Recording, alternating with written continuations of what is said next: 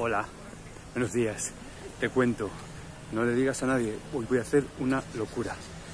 Voy a intentar subir al Cerro de las Tres Cruces. Hace meses que no subo porque tengo una lesión en el menisco y no debo. Sobre todo la bajada.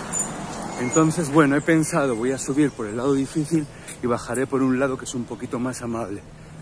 A ver si puedo, a ver si no, no me arrepiento. Pero hay cosas que uno tiene que decir y sobre todo eh, quiero hacerlo antes de que acabe el año.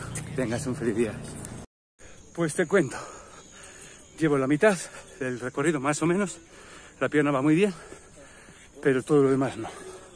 Mi respiración está muy apretada, la humedad es excesiva, de manera que según he dado el primer paso ya estaba sudando, etcétera. Pero ya que estoy aquí, voy a seguir a ver qué pasa. Hola. Bueno, ya me queda poco.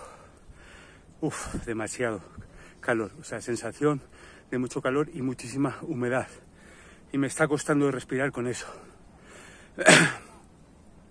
Pero bueno, ya he subido desde allá, ya me queda poco para llevar. Si lo que me preocupa realmente, te cuento el secreto, es la bajada. A ver por donde bajo, que no sea demasiado empinado, para que no me duela la rodilla.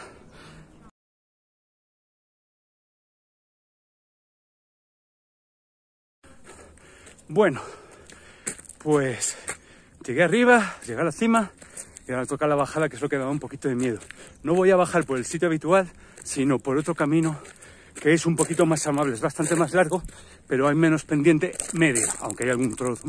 Entonces voy a ver cómo soporto eso. Luego te cuento, ¿vale? Chao.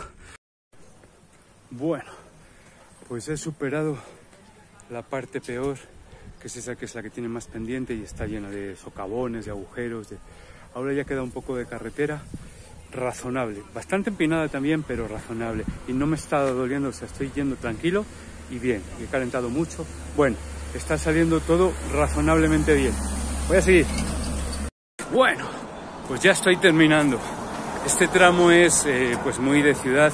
Me he quitado los audífonos porque tengo que escuchar los coches aquí y todos los ruidos de la ciudad, que son muchísimos ruidos, sonidos, pero si no vas muy atento te atropellan fácil.